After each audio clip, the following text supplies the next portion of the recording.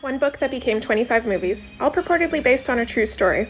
But was it really true? Well, it's complicated. The Amityville Horror tells the story of the Lutz family and their time at 112 Ocean Avenue. A year before they moved in, a man named Ronald DeFeo had taken the lives of six family members in the home. The Lutz family claims to have been terrorized by paranormal phenomena in the house, ultimately moving out after just 28 days. The book was a huge hit, and the Lutz family became media darlings for about a minute until people began to tear holes in their story. First, the Lutzes claimed a priest heard strange voices in the house, but the priest denied ever having visited. However, the priest later said the Lutzes were telling the truth.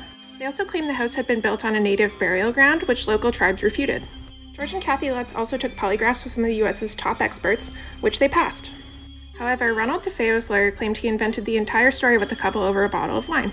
Both George and Kathy Lutz maintained their claims until their deaths, but ultimately not a single person who lived in the house afterwards ever experienced anything paranormal there.